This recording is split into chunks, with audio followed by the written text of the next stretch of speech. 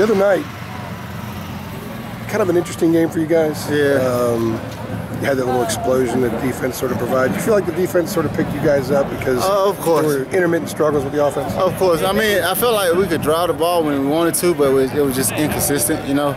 But uh, yeah, the defense picked us up late. You know, they got the energy going, and we just fed off that and made some plays after that.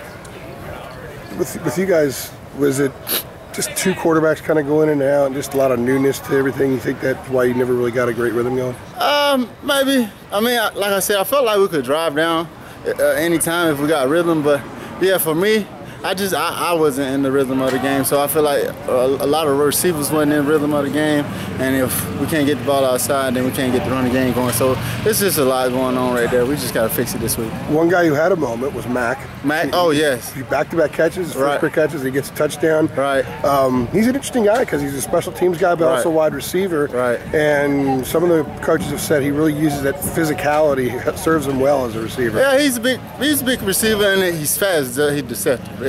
You might not never know it, but he's fast as crap. So uh, when he got in, he made a, a great opportunity and he made things happen. And hopefully he can make some more things happen this week. You guys have depth. Uh, Oh, yeah. I mean, and he's an example of Right, depth. right. Uh, I mean, we got we got a lot of good receivers. Uh, like you said, we got a lot of depth, and uh, uh, and it shows. You know, um, we feel like anybody can come in at any time, and we wouldn't miss a beat. Last couple days, how things going? Did you guys get ready for San Diego State? Uh, I mean, we we started watching. Well, we started watching film today as a team, but I'm pretty sure everybody else got in earlier. Uh, we started watching film, getting, you know, a little background on them. I would say, a little background on them. They they they're very physical uh, at the line. They're cornerbacks that like to jam and stuff. So I mean, it'll be an interesting matchup this week. They do, Coach said yesterday they do some unique stuff defensively, which will, might Oh, yeah. take some adjusting for you guys. Right, that's what I said, because they do a lot of different stunts and, and maneuvers. Uh, so uh, we'll work them out in, this, uh, in practice this week and be ready for it Saturday. Last week was an interesting, last uh, Tuesday, I guess, or Wednesday was an interesting day for you guys. Get Yeah. the suspensions come down, and then the news about Ethan Yeah. being being cleared. How, Right. What was your reaction when you found out? Well, was I mean, you know, being one of the leaders on this team, I just try to, you know, keep the guys focused on the game. Don't worry about the um, suspensions as much because that could just bring the whole momentum down and, and we come to the game, start it off slow and stuff like that. So we, as a leader, I just try to pick the guys up and tell them don't worry about it. We got to pick them up and, and, and be focused on the game.